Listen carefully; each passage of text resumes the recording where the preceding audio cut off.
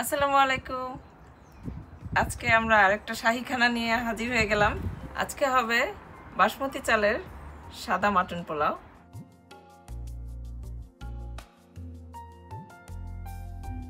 তো এটা আমরা করছি ল্যাম্প দিয়ে। এখানে সাড়ে চার কেজি মাংস নিয়েছি। তো পুরা প্রসেসটা দেখার জন্য আমাদের সাথেই থাকুন।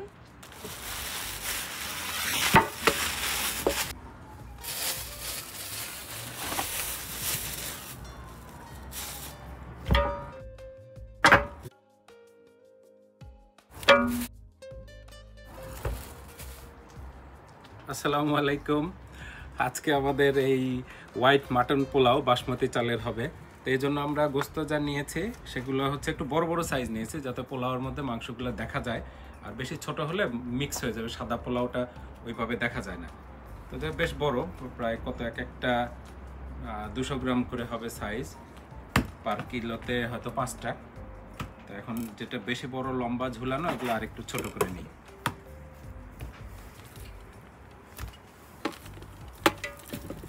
আর নিয়েছে সাথে কিছু বড় বড় শ্যাঙ্ক। মানে একটা লেগের মতো দেখা যাবে। এটা এরকম আস্ত খেতেই কিন্তু খুব ভালো লাগে, কারণ এই গোস্তগুলো জুসি জুসি থাকে। আমার সবচেয়ে প্রিয় মাংস হচ্ছে শ্যাঙ্ক।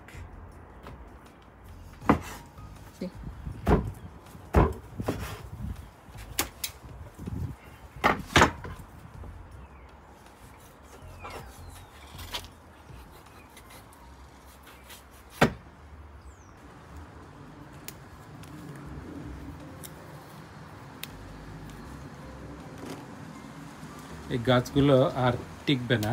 অলরেডি এই যে নুয়ে নুয়ে পড়েছে পাতা, এখন সবগুলো মরিচ আমরা তুলে নিয়ে একে চিরবিদায় দিয়ে দেব।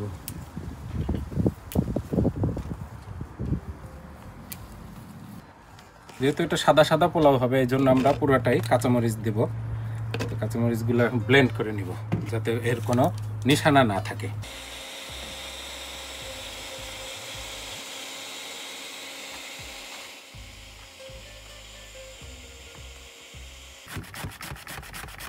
এখানে আদা আর হচ্ছে কাঁচামরিচ একসাথে পেস্ট করে রেখে দিয়েছে।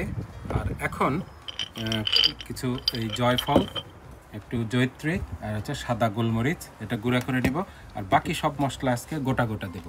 কারণ এগুলো যত গুঁড়া করে দিব, তত পোলার কালারটা চেঞ্জ হয়ে যাবে। আমাদের দরকার হচ্ছে সাদা সাদা পোলাও থাকবে।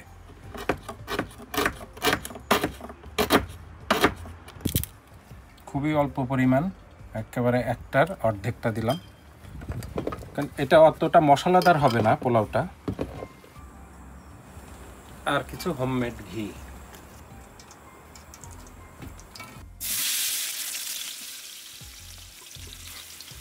কাটা গোটা মশলাগুলো দিয়ে দিচ্ছি। আর দিব কিছু শাহি জিরা। পেঁয়াজটা আমরা বেশি ব্রাউন করব না, হালকা ব্রাউন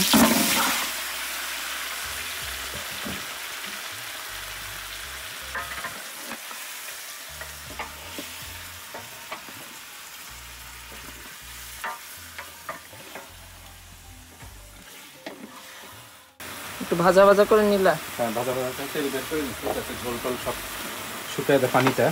তা না হলে এই মাংসগুলো পরে মজা হয় না। পরিমাণ মতো লবণ দিয়ে দিলাম। আদা আর কাঁচামরিচ বাটাটা দিয়ে দিলাম। এটা ওই আগেই আন্দাজ মতো পরিমাণ মতো নিয়ে নিয়েছিলাম। মরিচের ঘ্রাণ বগুড়ার মরিচ। এখন দিচ্ছে রসুন একটু ধনিয়ার গুঁড়া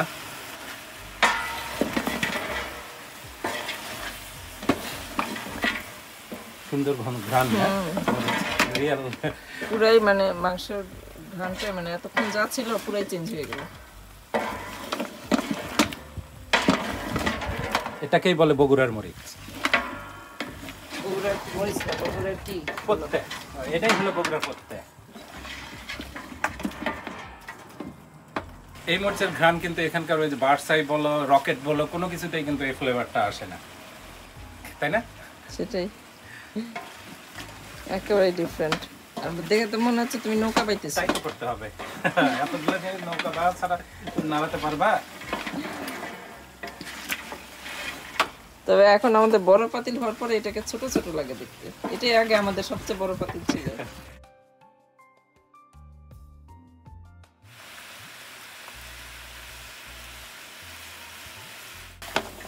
এভাবে রান্না করলে ওই ল্যাম্বের যে একটা বোটকা গন্ধ আছে ওই গন্ধটা চলে যায়।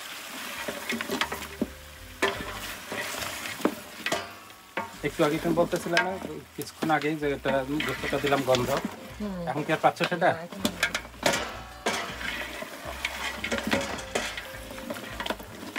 সব কিছু ভাজা ভাজা হয়ে গেছে প্রায় কষানিটা খুব ভালো মতো হলো। এখন জল দিয়ে দিচ্ছি।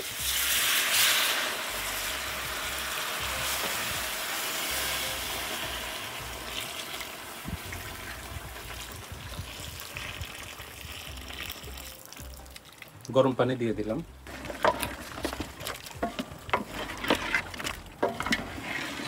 একটু গোলাপ জল। সুন্দর একটা সেন্ট আসার জন্য। মোটামুটি সিদ্ধ হয়ে গেছে, ভালোই। নরম নরম, বোঝা যাচ্ছে। এই যে এই যে খুলে আসে। বেশি নাড়বো না এখন আর। এখন হচ্ছে চাউলের জন্য পরিমাণ মতো পানি দিয়ে দেবো। গরম পানি।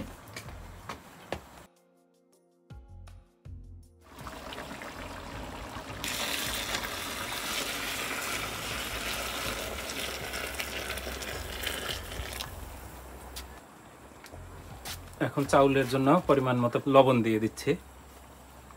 এখানে আমরা গোল্ডেন শিলা বাসমতি চাউল নিয়েছিলাম। কয় কেজি যেন তিন কেজি।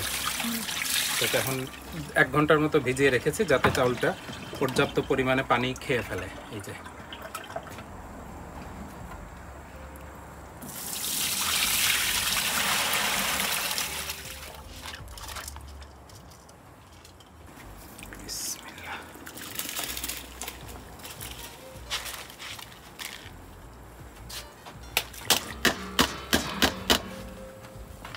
অবস্থায় চাউল দেওয়ার বেশিক্ষণ জোরে জোরে নাড়ানো যাবে না, কারণ চাউলটা পানি খেয়ে খুব সফট হয়ে গেছে। বেশ কোনো রকম আস্তে করে সমান করে দিলাম। এখন আমাদেরকে খুব জোরে চাউল দিতে হবে বলক আসা পর্যন্ত, কারণ চাউল ঠান্ডা অলরেডি ঠান্ডা হয়ে গেছে, বলকটা বন্ধ হয়ে গেছে।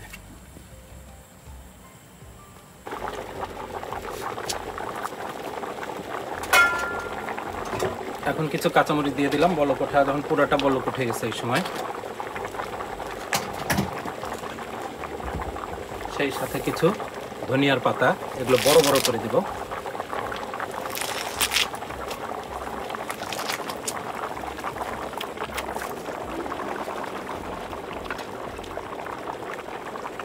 কয়েকটা আলু বোখারা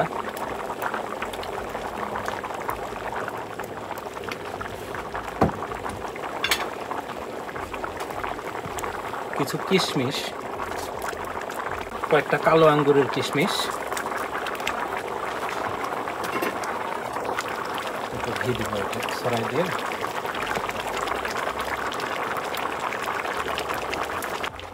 আর ফাইনালি উপর থেকে কিছু ঘি। এই ঘিটা আমরা বাসায় বানিয়ে নিয়েছি। ঘির রেসিপিটা আমাদের চ্যানেল পেজে দেয়া আছে, আপনারা যারা আগ্রহী তারা দেখে নিতে পারেন।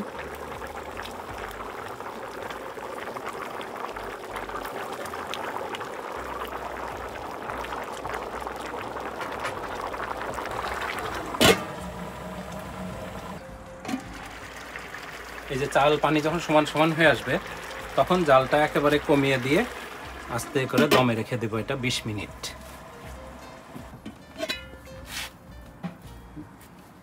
বিশ মিনিট দমে রাখার পরে এই অবস্থা হলো।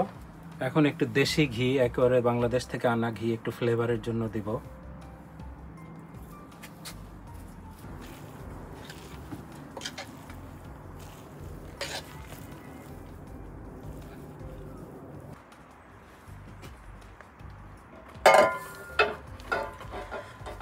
এখন একটু বাড়ি আমাদের কি যেন মাটন পোলাও।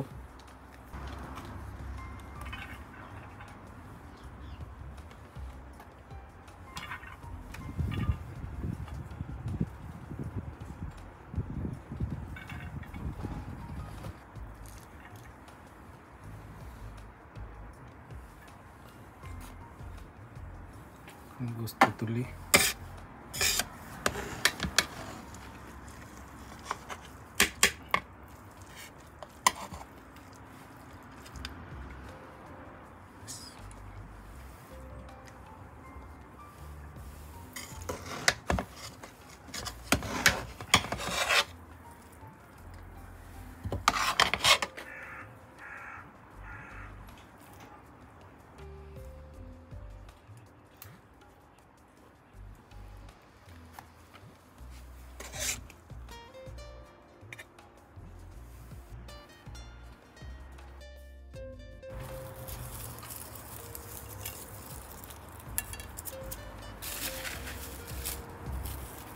দেশি পেঁয়াজের বেরেস্তার একটু ভালোবাসা।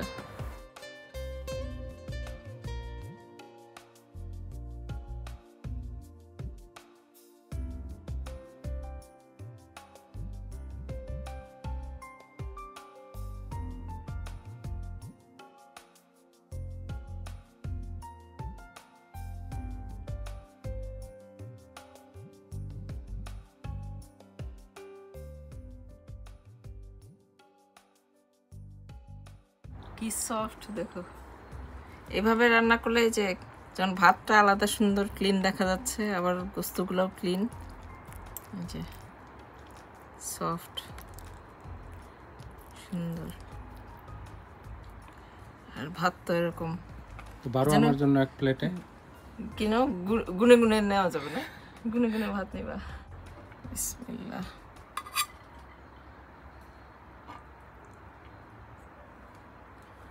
তোমার ভাগ্যে আলু বুখার আছে।